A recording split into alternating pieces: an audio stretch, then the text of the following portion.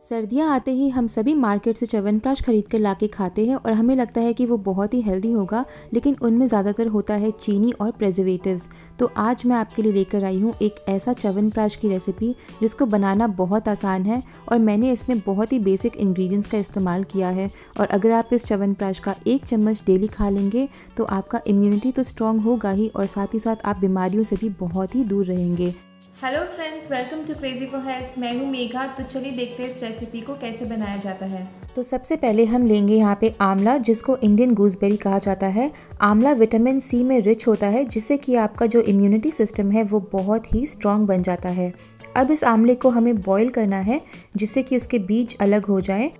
तो आप यहाँ पे चाहे तो स्टीम भी कर सकते हैं आंवले को, लेकिन बॉईल करने से ये प्रोसेस थोड़ा जल्दी हो जाता है। तो लगभग इसको तीन से चार सीटी तक हमें मीडियम फ्लेम में बॉईल करना है। और ये देखिए बॉईल हो चुका है हमारा आंवला। और ये जो सीड्स है, वो कितने आसानी से अब निकल जाएगा। तो हम सारे सीड्स को फ्रूट से अलग कर लेंगे। तो जब आंवला हल्का गर्म हो, तभी आपको ये प्रोसेस करना है, वरना आपको सीड्स निकालने में मुश्किल हो सकती है। तो ये देखिए, मैंने सारे आंवले को अलग कर लिया है सीड से। अब इन आंवलों को हम एक मिक्सर ग्राइंडर जार में डाल देंगे। और इसमें हम ऐड करेंगे 12 से 15 तुलसी के पत्ते। और इसका अब हम एक महीन सा पेस्ट बना लेंगे। चाहे तो आप इसमें हल्का सा पानी डाल सकते हैं, अगर ये नहीं पेस्ट हो रहा हो तो। और ये देखिए, एक बहुत ही स्मूथ सा इसका पेस्ट हमने रेडी कर लिया है।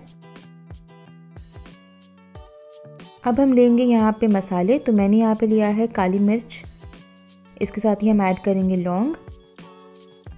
अब इसमें डालेंगे हरी इलायची। अब इसमें जाएगा दालचीनी। इसके साथ ही इसमें जाएगा जीरा।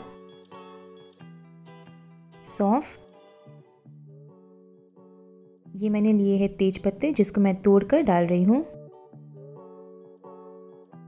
इसमें जाएगा जिंजर का पाउडर। अगर आपके पास जिंजर का पाउडर ना हो तो आप जिंजर भी ले सकते हैं। और इसमें जाएगा गुलाब की पंखुड़ियाँ जो ड्राइड है। इन सब चीज़ों को अब हम एक फाइन पाउडर में तैयार कर लेंगे। तो ये देखिए, हमारे मसाले अच्छे से ग्राइंड हो चुके हैं। आप चाहे तो इनको छान भी सकते हैं या फिर आप इनको ऐसे ही यूज़ कर सकते हैं। अगर आपके पास इनमें से कोई भी इंग्रेडिएंट ना हो तो आप उसको स्किप कर सकते हैं। मसालों को हम साइड में निकाल लेंगे। और अब उसी मिक्सर में हम लेंगे डेट्स, यानी खजूर। खजूर के मैंने बीज निकाल लिए हैं और ये सॉफ्ट वाले खजूर है, जिसको पीसने में बहुत ही आसानी होती है। तो खजूर का भी अब हम एक फ़ाइन पेस्ट तैयार कर लेंगे। ये देखिए, अगर आप सॉफ्ट खजूर लेंगे तो उसका पेस्ट बहुत ही आसानी से बन जाएगा। अगर आपके खजूर हार्ड वाले हैं तो आप उसको पहले गर्म पानी में सोख कर लीजिए, उसके बाद आप उसका पेस्ट बना लीजिए। अब हम एक कढ़ाई लेंगे और कढ़ाई में मैं डाल रही हूँ देसी घी। तो इस चवन प्राश को आज हम देसी घी में बनाएँगे, जिससे कि इसका इम्यूनिटी प्रॉपर्टीज़ बहुत ही बढ़ जाएगा। घी जब गर्म हो जाए तो इसमें हम डाल देंगे हमारा बनाया हुआ आंवला का पेस्ट और इस पेस्ट को अब हम अच्छे से स्टर कर लेंगे। तो लगभग तीन से चार मिनट के बाद जो आंवला का पेस्ट है, वो सारे घी को अब्जॉर्ब कर लेगा। और ये देखिए, जितना भी घी है वो अब्जॉर्ब हो चुका है और अब इस स्टेज पे हम इसमें डालेंगे हमारा तैयार किया हुआ खजूर का पेस्ट तो ये सारे ही चीज़ें बहुत ही ज़्यादा हेल्दी है स्पेशली सर्दियों के लिए बहुत ही फ़ायदेमंद होती है।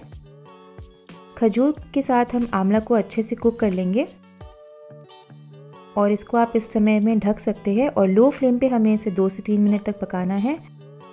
तो इसको हम तब तक कुक करेंगे जब तक कि ये जो है, जो घी हमने डाला था, वो हल्का हल्का रिलीज़ नहीं होने लग जाए। और ये देखिए, बिल्कुल एक हलवा की तरह ये अभी लग रहा है। तो इस स्टेज पे हम इसमें डालेंगे गुड़। गुड़ को आप छोटे टुकड़ों में तोड़कर भी डाल सकते हैं, या फिर आप इस तरीके से ब्लॉक्स भी डाल सकते हैं। तो इस चवन प्राश में मैंने रिफाइंड शुगर का इस्तेमाल बिल्कुल भी नहीं किया है। ये पूरा का पूरा हम बनाएँगे गुड़ के साथ।